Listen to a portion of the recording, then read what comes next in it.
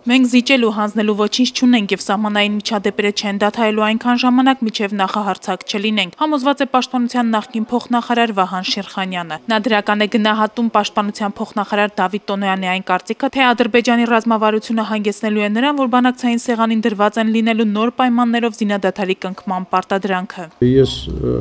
չեմ համարում, որ Դավիթ Տոնոյանի խոսքերը նշում են սեփական դիվանագիտության, պարտության ընդունում։ Ոչ, նա խոսում է որպես ռազմական